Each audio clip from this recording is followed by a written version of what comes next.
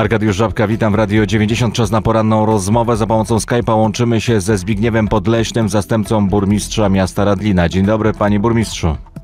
Dzień dobry, panie redaktorze, witam wszystkich serdecznie. No to zapytam od razu o zdrowie, bo to podstawowe pytanie dzisiaj e, właśnie jak? Mam nadzieję, że nie zapeszę, ale dość dobrze. To dobrze, że dobrze. E, Górnicy porozumieli się z rządem. Oznacza to, że kopalnia Marcel będzie mogła fedrować do 2046 roku. Jak pan zareagował na wieści o tym, że przed e, Radlinem i przed kopalnią jeszcze taka świetlana przyszłość? No, przede wszystkim e, uczucie ulgi, że w ogóle do porozumienia doszło, bo najgorsze do, najgorszy scenariusz e, to rozlanie się protestu nie tylko po Śląsku, ale być może i po innych miastach. Z tego obawialiśmy się najbardziej. Mm, Sądzę, że przez te wszystkie lata zostaliśmy doprowadzeni do takiego stanu i jako mieszkańcy regionu, i szczególnie jako mieszkańcy miast górniczych, że to, co do niedawna wydawałoby nam się scenariuszem bardzo negatywnym, dzisiaj przyjmujemy z ulgą, czyli zapowiedź likwidacji kopalń. To jest niesamowite. Było słychać westchnienie ulgi y, po, i po stronie związkowej, i po stronie rządowej, trochę już nawet w samorządach, bo wiemy przynajmniej jaki jest plan. I myślę, że to uczucie ulgi to nie jest związane absolutnie z tym, że kopalnie będą likwidowane, bo to nie jest najlepszy scenariusz, ale z tym, że zaczynamy mieć zalążek, a przynajmniej możemy mieć nadzieję na jakikolwiek plan, nie tylko dla górnictwa, ale też dla regionu, bo chciałbym zwrócić uwagę, że to porozumienie, co było pewnym y, zaskoczeniem pozytywnym, że związkowcy nie tylko rozmawiali o swoich zakładach pracy, ale znalazł się też w porozumieniu zapis o planie dla regionu, o planie dla województwa śląskiego. Tylko... Oczywiście ten plan znowu jest tylko zapowiedziany na przyszłość, więc nie wiadomo jaki będzie miał kształt, ale jest. A wierzy pan w to, że kopalnie rybnickie rowu będą fedrowały do końca, do tego 2046 w przypadku Radlina, jak i e, Chwałowic do 49?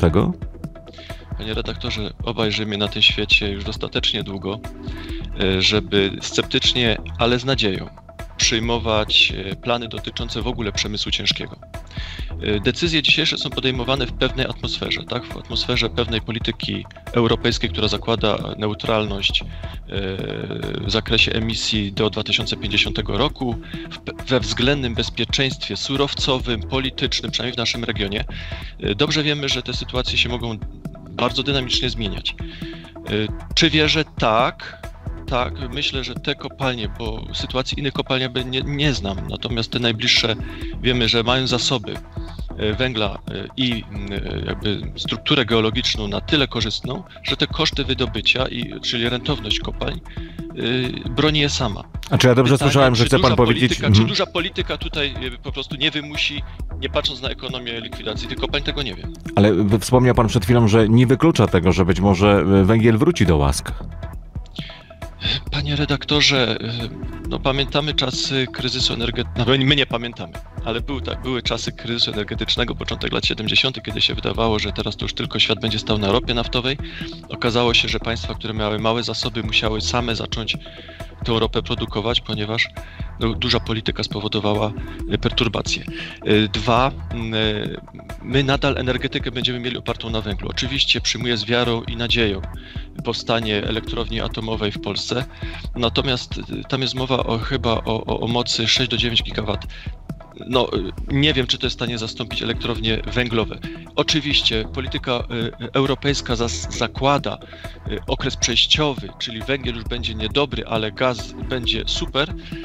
Pytanie przez jak długo i czy my jesteśmy w stanie postawić nagle elektrownię oparte na, na, na, na gazie. Dobrze, ile zostawmy tę elektrownię ile, ile atomową. Panie burmistrzu, zostawmy tę elektrownię atomową i przejdźmy do e, elektrociepłowni, jaka e, powstaje e, w Radlinie, w tamtejszej koksowni.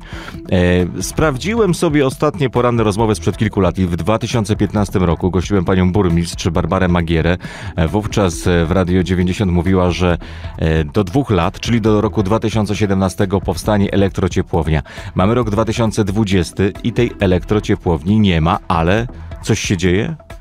No właśnie, ale trwają prace budowlane realizowane przez firmę Rafako. Jest zapewnione finansowanie. Wartość inwestycji to e, ponad 200 milionów, około 200 milionów złotych. Pierwsze mury już stoją, decyzje zostały podjęte. Mm, przypomnę, że już prawie będzie za niedługo dwa lata, jak doszło do podpisania porozumienia, którego stroną jest również miasto Radlin, a z drugiej strony jest sygnowane przez JSW Cox e, i JSW i PGG i, i, i przedstawicieli premiera. E, działa zespół, e, który spaja jakby różne obszary, bo to jest nie tylko kwestia wybudowania nowej elektrociepłowni. Z punktu widzenia zarówno kopalni Marcel, jak i miasta, kluczowe jest również połączenie nowej elektrociepłowni z istniejącą siecią ciepłowniczą, zarówno kopalnianą, jak i miejską. Ten zespół to koordynuje, także mogę powiedzieć, że jesteśmy na dobrej, na dobrej drodze.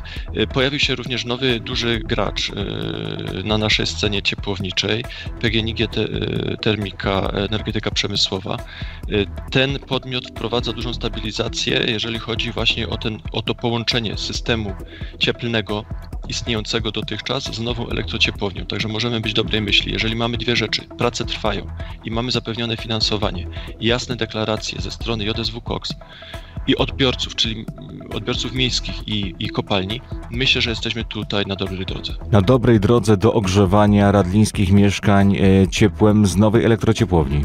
Tak, co ciekawe i co ważne i co warte podkreślenia, elektrociepłowni zasilanej w całości z gazu koksowniczego, który normalnie jest odpadem, a tu będzie pełnowartościowym paliwem.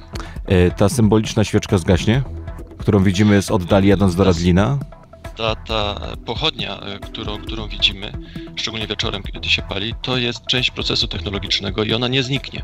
Ona musi być, ponieważ czasem się zdarza, że w cyklu produkcji, produkcyjnym koksu zajdzie konieczność spalenia nadmiaru na pochodni. Natomiast to będzie sytuacja e, jakby nadzwyczajna, a e, sytuacja typowa to będzie spalenie tego gazu w elektrociepłowni. Kiedy? Kiedy to ciepło może popłynąć do mieszkańców Radlina? 2022 rok?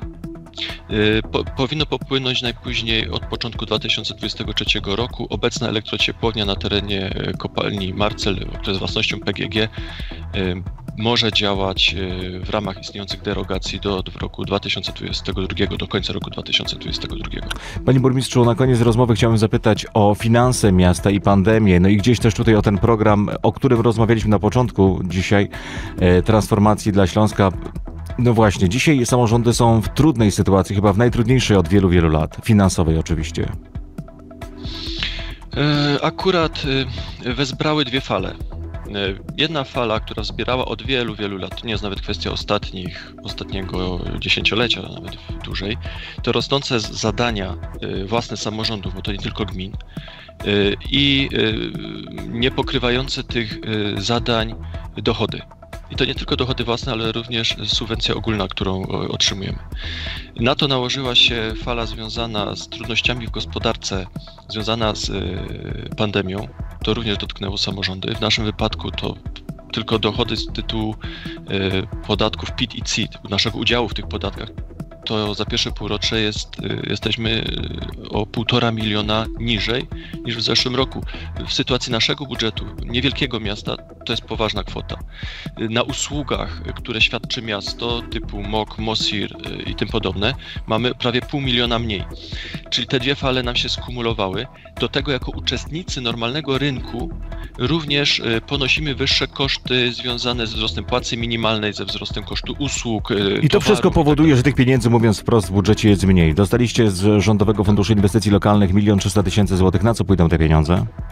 1 380 tysięcy przeznaczyliśmy na dofinansowanie wiaduktu, przebudowy wiaduktu na ulicy Mariackiej. Ach, to ten wiadukt, który nie, y, który nie widać końca robót, tak? Widać koniec robót, panie redaktorze.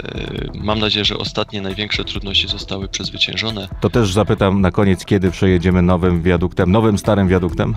Mam nadzieję, że wiosną przyszłego roku.